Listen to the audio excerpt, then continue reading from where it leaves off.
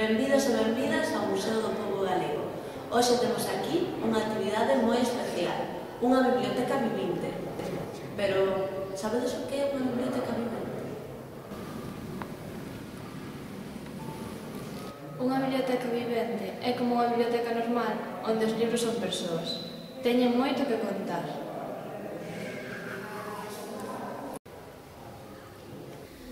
Tesouros vellos para xente nova. Hoxe, 12 de decembro de 2013, temos aquí unha biblioteca vivente chamada Tesouros Vellos para Xente Nova. Tesouros Vellos, os nasas vellas e os nosos vellos que levan anos e anos atesourando tantos saberes e que pode que cando esa xente desapareza, os saberes desaparezan con eles. Para xente nova, xente nova que soubo aproveitar todos eses saberes, que soubo valoralos e soubo aprendelos e traelos á actualidade e que hoxe destacan no que fan precisamente por saber valorar os tesouros que tiñan a man. Bicoca de boca en boca. E a idea é que a xente faga o mismo que, que se adoita facer cando se colle un libro, que é empezar polo índice. O índice ten sempre unha presentación, ten un marco xeral do tema que vai tratar, e despois ten os temas concretos que como neste caso son temas da vida, pois espero que a xente que vai lendo se vai vendo reflexado en algún.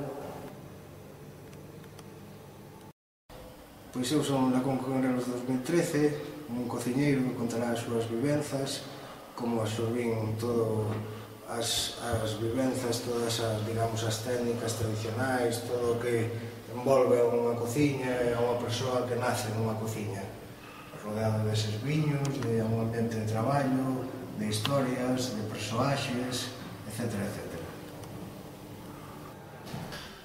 Pois o noso libro chamase A historia dun pelexo. O pelexo este, pode valer. e imos de falar un pouco do paso dos tocos tradicionales aos tocos modernos. E polo medio están os zapatos para vaques, que foi aí unha época que, que aquí meu pai sempre aproveitar. Eh, son Armas de Construcción Masiva, un libro gordo, como se pode ver. Eh, o meu libro fala sobre todo de, da cultura popular dos títeres, os títeres tradicionais, os títeres eh, xa un poquinho máis cultos, eh, os títeres en xeral, o que son os títeres polo mundo adiante, distintas técnicas de manipulación, eh, o porqué de cada unha, eh, como se usan no folclore, eh, para expresar eh, os espectáculos de díceres. Daban patatas, daban un cochino de pan, e viñen para casa. E así che foi a vida. Fun á fábrica, fun á fábrica. Fun á, á aldea con miña nai ben fitiño. E eu non quería. E dixíame miña nai, laiducha, vente comigo, muller, e fazme compañía que me vea coller a noite. Que se subastaba, ves, viña as xouvas aquí e tirabas así no, no suelo. Non había... tirábase no suelo. E iban, saltaban, e dixía, mira que noite, e vai, vai me acoller máis noite, vente comigo. Pero non sabes por que iba. Sabes por que iba, meu filho? Non. Porque señalaba un cachiño de pan viño comendo polo camiño.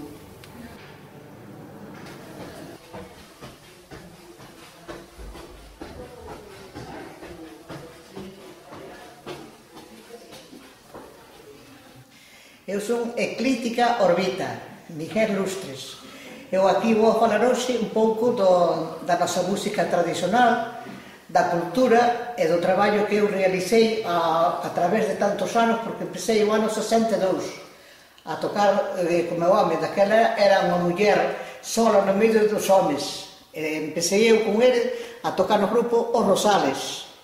Entón, os quero explicar aquí un pouco o que foi a historia da miña vida, porque traballei moito, recorrí eh, toda a zona de Galicia, Asturias, Madrid, a Expo de Sevilla, Bélxica, Portugal, cines, anduve televisión, e eh, tiño un traballo grande que fixe a través dos anos.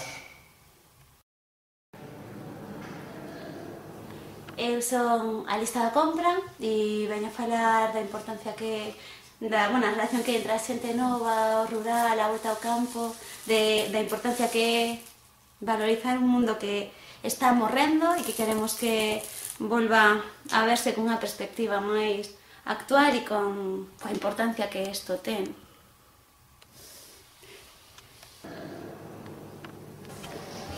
E o libro chamase Músicas Escravas e nel pois, falaremos un pouquinho de, das músicas tradicionais en todo, en todo o mundo, das diferenzas e das semelhanzas que hai, que hai moitísimas máis semelhanzas que diferenzas, e intentar entender o que nos une a todos un pouco, eh, o que temos en común e que, e que eso se a todas as músicas de raíz. Espero que, que vos preste, un saúdo moi forte e un bico.